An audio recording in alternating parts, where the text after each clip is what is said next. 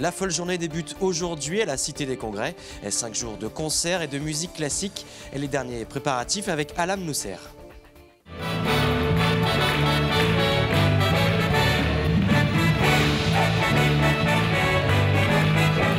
Mozart, revisité façon cubaine, c'est une des compositions originales de ce big band polonais. Les étudiants ont pu se déhancher tout en révisant les plus grands noms de la musique classique.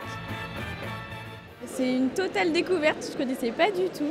Et euh, franchement, je suis ravie, c'était vraiment bien. Je suis contente que ça ait été organisé ici.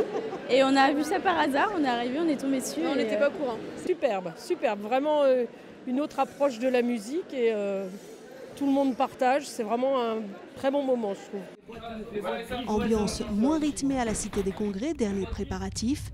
Ces instruments d'un groupe japonais ont traversé les océans durant trois mois. Il leur reste encore quelques mètres pour arriver sur scène. Il y a quelque chose devant la cellule Ne pas bouger Ne pas bouger Qui c'est qui a bougé Il y a une bonne ambiance quand même, voilà, malgré le travail. Dans la salle d'à côté, cacophonie sonore, c'est le temps de l'échauffement.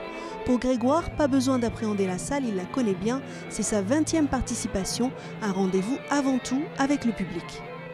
Ah, public nantais très chaud, très chaud, très frénétique. Mais nous, nous aimons beaucoup le public de Nantes.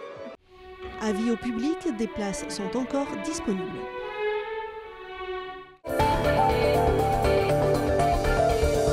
À Nantes, l'écopoint d'Auvour remplace celui de Viarme.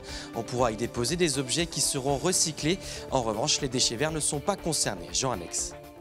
À l'étage des habitations, une crèche et au rez-de-chaussée un éco-point. La construction de ce bâtiment hybride a nécessité des aménagements particuliers. Tout a été prévu pour et faire en sorte que euh, l'éco-point ne génère pas de nuisance entre guillemets euh, vis-à-vis de son insertion dans un bâtiment.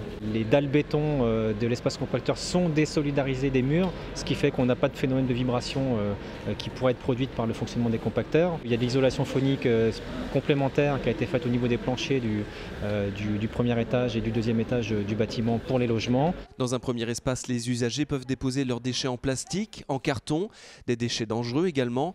Et dans l'autre espace, dit de réemploi, ils peuvent déposer de vieux objets qui connaîtront une deuxième vie grâce à la recyclerie associative Station Service.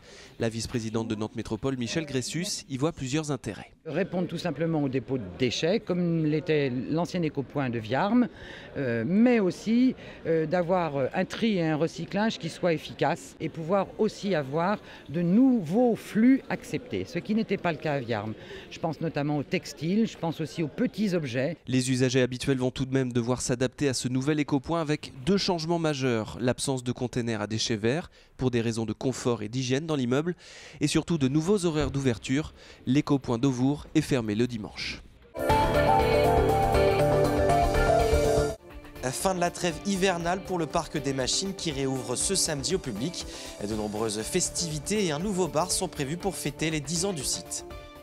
Ce bar, il avait été conçu pour 200 ou 300 000 visiteurs. On est à plus de 600 000. Donc euh, les gens qui ont l'habitude de venir euh, soit boire un verre, soit euh, fouiller dans la boutique pour une affiche ou un livre, ben, ils se rendent bien compte que ben, c'est un peu petit, c'est même très petit, c'est bruyant.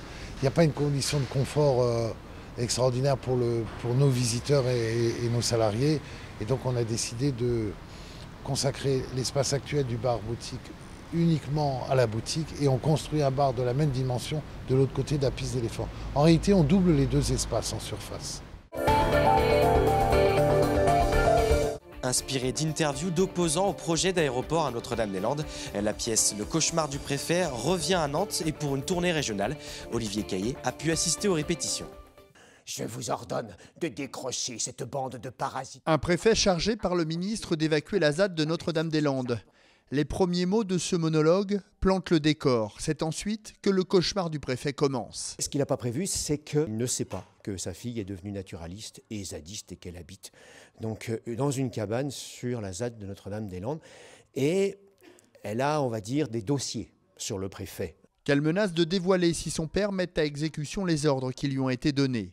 Pendant 1h20, Patrick Grégoire, comédien dijonnais, incarne une douzaine de personnages. Il bouge, gesticule beaucoup, mais sans jamais se déplacer. Une mise en scène choisie pour délivrer un message écologique qui va au-delà de Notre-Dame-des-Landes. Qu'est-ce que ça révèle sur notre société Et je tisse en permanence un parallèle avec l'histoire de la déforestation de l'île de Pâques. Et c'est la question que pose la fille à son père. Quel héritage, vous, qui aviez tous les moyens pour faire une planète un peu plus propre que celle-là, quel héritage vous allez nous laisser bah, Le projet, c'est une pièce de théâtre à partir de la parole des opposants à l'aéroport de Notre-Dame-des-Landes une parole brute qui a été transformée par euh, l'auteur de théâtre qui, lui, à partir de cette parole, a écrit un texte de théâtre. Donc c'est comment transformer la réalité en fiction à partir du théâtre, mais en restant sur des questions euh, graves et des questions sociétales. Et c'est, en fait, c'est du théâtre politique, mais euh, qui reste du théâtre. Une deuxième pièce est d'ailleurs tirée de ces paroles d'opposants.